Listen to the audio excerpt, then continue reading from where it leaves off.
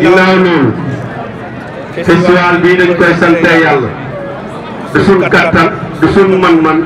ndimbalu yàlla kes kese moo ñu jàppale ba ñu àgg fi ñu àgg bi waaye nag yàlla baaxee nañu ñemee nañu fi ñu jëm te danañu jàppale ba ñu àgg fi ñu jëm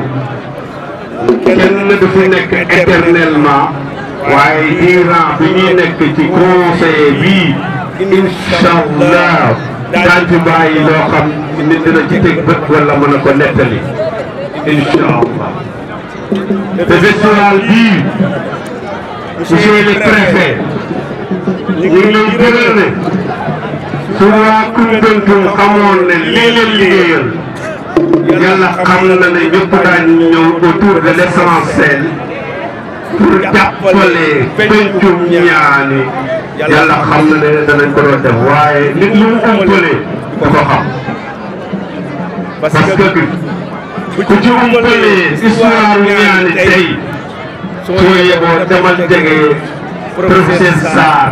da nga xam liggéey bu baax bi mu def maa koy gërëm bu baax a baax moom moom comité bi yëpp kon ba du ma gungal kàddu gi lu dul ma am naa kontante bu baax a baax préfet maa ngi lay gërëm nag dina defal mention spéciale yow ñaar salaam salaam bu équipe bii di département bi ak chef de service yi ñu ngi leen di gërëm bu baax a baax am na loo xam nag lan mi mënu ko la waaye la nga xam ne ne Fara Omar si teg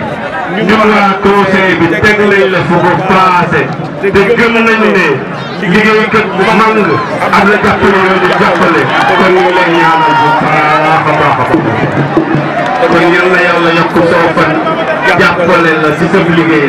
ngay am ay promotion yu mag a mag a mag kon loolu maa ngi leen di gërëm di leen sant wasalaam